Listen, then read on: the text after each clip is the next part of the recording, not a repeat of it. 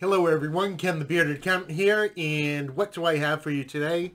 I have the seventh episode of Biggest Compliment You Can Pay to a Beard Product. What I mean by that is from time to time when I finish off a product, I like to highlight it.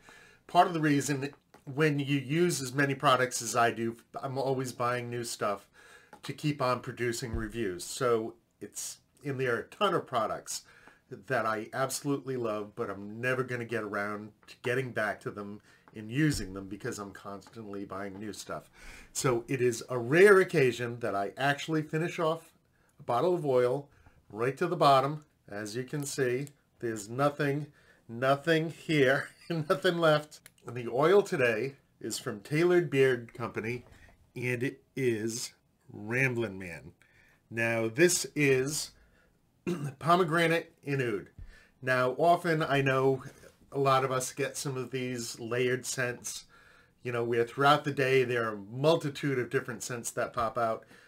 From time to time, I love a scent that is just plain good. It just plain smells good. And this tailored uh, Rambling Man was absolutely wonderful. This stuff was is just wonderful.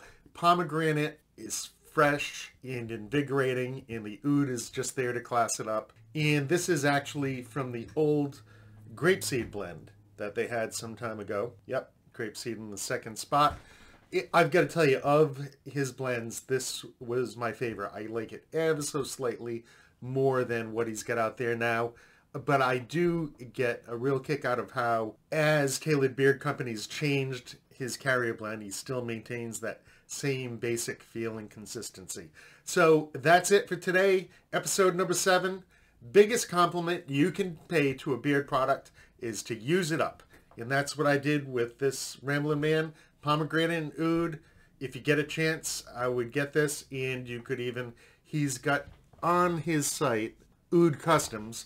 Uh, so you could always just say, I'd like pomegranate and oud.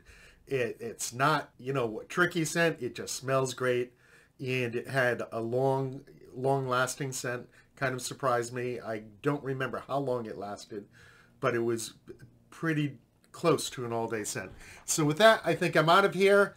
I'll see you on the next one, and uh, hopefully soon be getting back to my normal schedule right after April 18th. And until then, well, I'll I'll do a couple videos before then, but I'll see you on the next one. Oh, please hit that subscribe button. Hit that notification bell if you want to see more, and that thumbs up if you think I did a good job.